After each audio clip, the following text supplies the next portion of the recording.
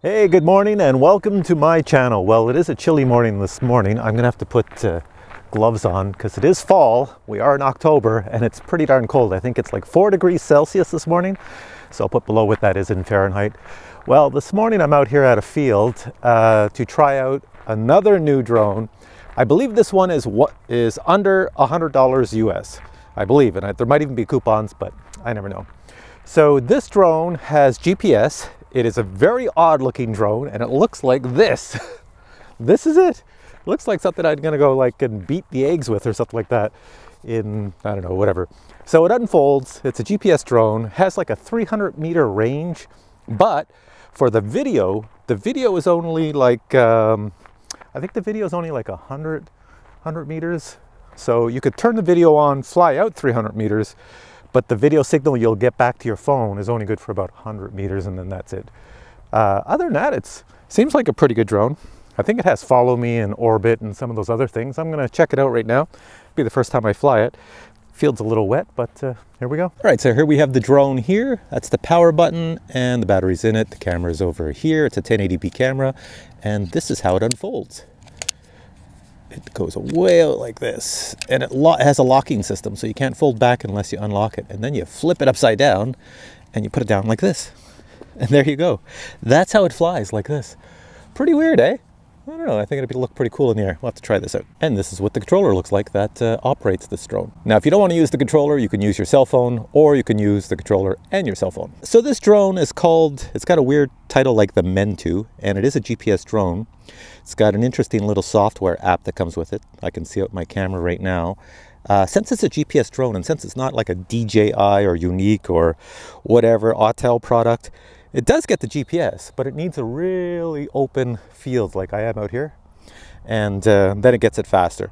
If you have a lot of trees around, it takes a while. So we'll see if it's got the GPS now. So now a quick compass calibration for this thing. Once, twice, three times like that, and then like this. Once, twice. I don't know, twice or three times. I could be confused. Three times, I think Close enough. All right, let's see what it does. I'm going to turn the camera on. So here's my little drone hovering. That's pretty stable. Now, it seems to fly well. I'm having a problem with the app. Let me just try the app again because my app kept shutting down. It could be my phone. I'll just see if I can connect it while in flight here. Yeah, yeah, yeah, yeah. I'm connecting the app. Quiet. Internet may not be available. All right, let's try that. Hang on, guy. I'm trying to get the app going here. Uh, good thing you say stable start. All right, I got it going. There we go. So let's put turn the camera on. For some reason, my phone didn't like the app. I don't know what it was. So here we go. Take you way up. How does the video signal look like? Hey, the props are in it.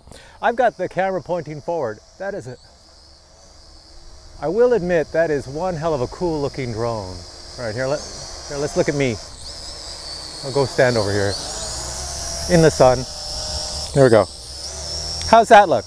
How do I, here, bring you up.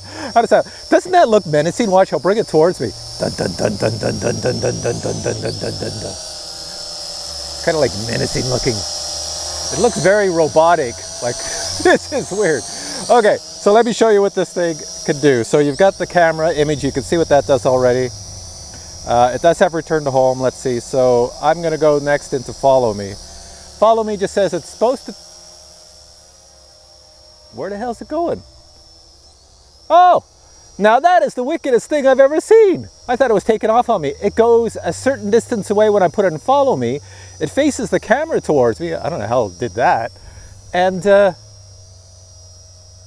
it's following me. Check this out. Can my voice go any higher? That is pretty cool. All right. Okay, I'm somewhat impressed with that. That's pretty neat. But it does go backwards. If I run at it, what happens? Is it gonna freak out? I'm catching up to you. Whoa, okay. Well, I learned my lesson. Don't run at these things. They can't move away fast enough. I'm in the low speed too. There are different speeds on here. I think this is the speed. Yeah, there we go. So now I should be able to go faster. There we go. That would be the fastest speed for this thing. Not that fast, but for a beginner, that's probably good. Let me just put it back to normal speed. Oh, hang on, it went three times. Does that go faster? Ah, here we go. Now, now we see what we're doing. Whoa, okay. That's pretty cool. Let me just bring it up because it's, now we got something happening here. There we go. So on my screen, hopefully you can see this, right here is on your top left is a button. The big yellow thing is to put it back to normal. That's to use your joysticks. Then this one over here is your waypoint.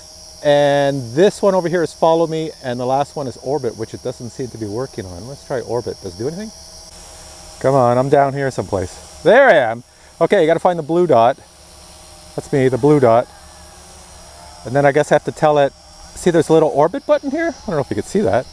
This is the way I think it works. Okay, so I put that in the center, hit the orbit button, touch there. I want it to orbit me, upload it. So it should orbit, well, right where I am. Is it gonna work? Spinning around. So I told it to be right beside around me, so let's see what it does. Oh, and then I have to hit a joystick. There we go. To tell it which direction to go. So I hit this joystick, it should go in a direction. There we go. And now it's making a bunch of beepy sounds that I do not understand, but it is orbiting. It's moving slowly. If I click back on the image, I can see I'm slowly orbiting. So that's designed on this thing here that I would fly this thing on the map. If I look at my map here, I'll just expand back out. I would pick up a spot on the map, put the little orbit on it, it would fly to it and orbit around that object. Let me try the return to home with the little bit of power I have left. I'm gonna hit the return to home, see what happens. Here we go, return to home. Look at that. It's coming back. Where are you gonna land, return to home? Are you gonna be really good and land back on the little pad? Come on back, where are you gonna go? I'm just sitting here waiting. it's over the pad. Are you gonna come down? Yep,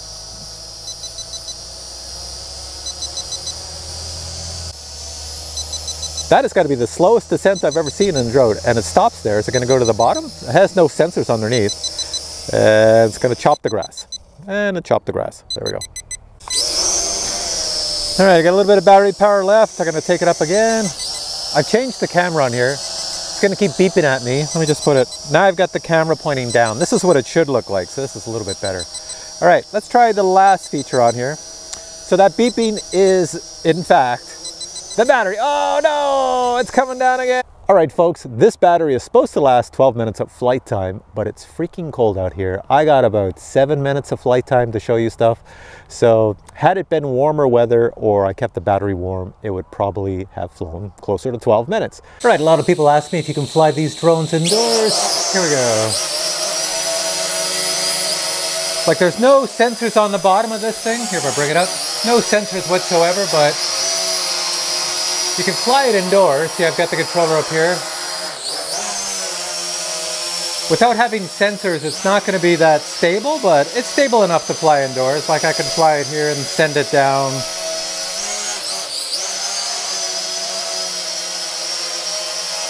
There we go. Maneuver it through there. I'll bring it back. I don't know if you can see that. Come through the doors nicely. So if you want to fly these indoors, you can. Say it's too cold outside, like me. You can just fly them around in the house. They do have prop guards, so I'm sure if I bang into the wall, let me just try it. I'm going to bang into the wall here. I'll just move it. I'll let it drift into the wall. Yeah. Can't do any damage. It's just sitting on the wall. So they're perfect for indoors. And of course, to land, there's a one, uh, one button land here.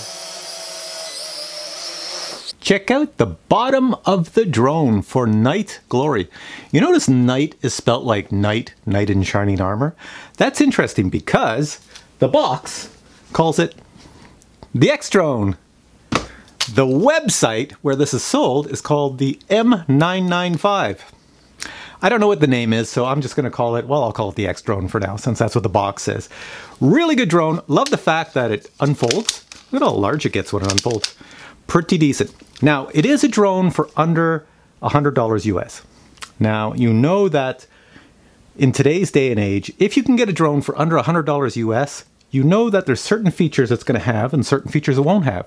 So last year, in the year 2017, for a drone for under $100 US, you were lucky if it got off the ground and flew and flew straight.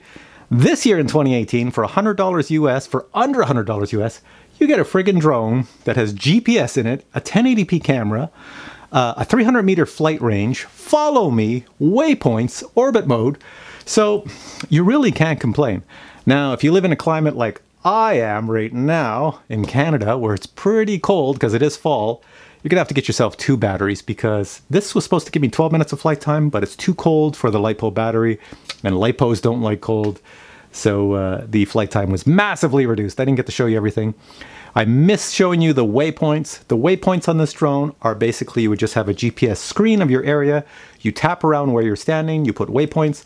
You can pick different heights for each waypoint if you want. And then you hit upload and that sends it to the drone and the drone will actually fly those waypoints. So it's pretty cool. It's sort of like when you saw me do the orbit mode. I just picked a waypoint more or less. It goes to that point and then it does an orbit. And that's basically what waypoints do. Which for a drone under $100 is pretty decent.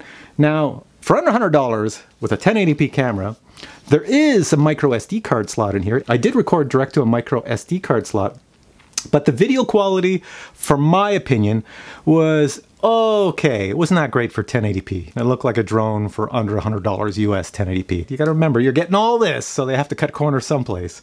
So all in all, good drone for the price, under $100 US, it's a pretty decent price. And if there's a coupon for this drone, I will put it below because right now I don't know if there's a coupon. When this video is published, there may be a coupon and it will show up below. So check it out and uh, see if it's the drone for you. I would say for a Christmas gift for somebody, this drone is pretty cool because it's so different looking and I loved the way it looked when it was flying through the sky. It looked pretty cool. And now a super quick unboxing of the GPS X drone with an HD camera 1080p. Let's check out what's in the box. Here we have the manual and the manual for the app. Here we have the drone, the controller, and the battery. It looks like here there's a cutout for two more batteries, so it looks like you could get this drone with a total of three batteries. Here we have the drone right here. Here's what's written on the bottom. I'm not sure why it says for night glory. Power button right there. Spin it around, there's your camera. You can move the camera, so you can change the angle of it. And uh, look at the top, it's like a really cool puzzle shape. It's all like that. Now watch, I'll just pull it apart and you can see that when you pull it apart, you get this massive drone. Now we're looking at the bottom of the drone here. So let me just show you a little bit about it. This here is the whole camera unit that's right here. And if I spin it around this way, you can see right there is a micro SD card slot right there, which is nice. So that means you get the video image right from the camera to the micro SD, so no loss of quality. It's supposed to be 1080p, so it should be pretty good. The drone flies this way, so it has the right on the top, and it flies like this. Pretty large drone when uh, it's all unfolded. And to fold it back up, these arms are locked. You have to pull this and then flick that up. Next, we have the battery for the drone. It's a 1200 milliamp, 7.4 volt battery. Here's the drone, battery in the drone. How much does it weigh? It weighs a total of 288 grams. Next, we have the controller itself. It has the one button takeoff and the one button land, plus the return to home because it does have GPS. Little antennas here. These antennas would not do anything. I can already tell just by looking at them. They're for show. And on the front, we have two buttons, button, button. And on the back is where you'll put the batteries. There you go. So it takes four AA batteries total, not included. Also included in the box would be four spare props, USB charging system for the battery, and a very small Phillips screwdriver. To me, it's a thumbs up drone. I like it. For the price, thumbs up. Hope you enjoyed it. Hope you enjoyed this video. Hey, if you enjoyed this video, then you give this video a thumbs up too. I'd really appreciate that. Anyways, thanks for watching, and we'll catch you in the next video.